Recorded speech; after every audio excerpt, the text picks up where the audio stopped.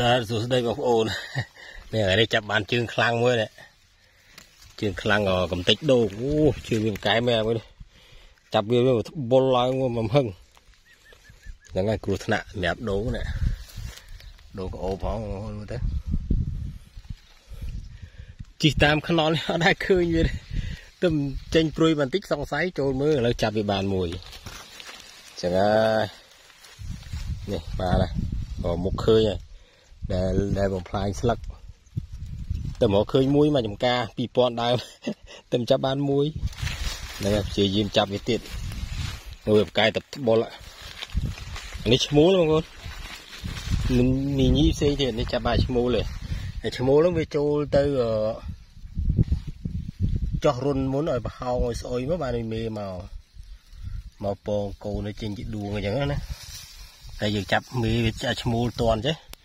អត់អីនេះឈ្មោះវាមានចាយក្បាលលើចឹងបងប្អូនបាទនេះសម្គាល់ចាយឈ្មោះបាទបាទអរគុណបងប្អូនបាទមេបលា